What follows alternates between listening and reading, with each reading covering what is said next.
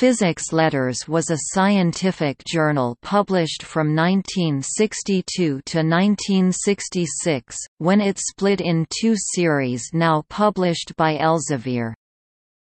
Physics Letters A, Condensed Matter Physics, Theoretical Physics, Nonlinear Science, Statistical Physics, Mathematical and Computational Physics, General and Cross-Disciplinary Physics including Foundations, Atomic, Molecular and Cluster Physics, Plasma and Fluid Physics, Optical Physics, Biological Physics and Nanoscience.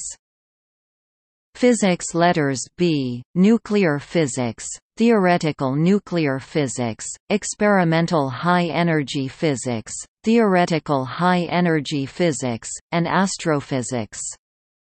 Physics Letters B is part of the SCOAP3 initiative.